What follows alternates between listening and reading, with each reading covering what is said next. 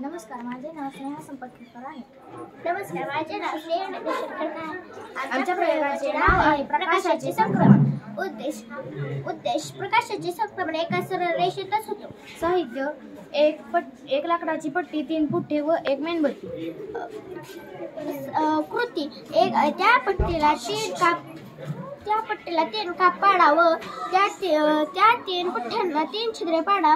व त्या एक पहिल्या बाजूला एक मेणबत्ती ठेव.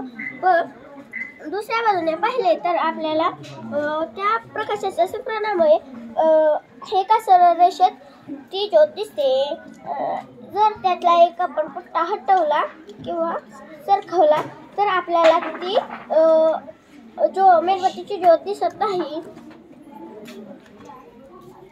अनुमान आपण जेव्हा पहिल्या कृतीत पाहतो तेव्हा आपल्याला मेणबत्तीची ज्योत स्पष्ट दिसते. पण दुसऱ्या कृती कृती जेव्हा आपण एक कोणता पण पुष्टा हटवतो तेव्हा आपल्याला मेणबत्तीची ज्योत दिस दिसत नाही. कारण प्रकाशाचे संक्रमण एका सरळ रेषेतच होते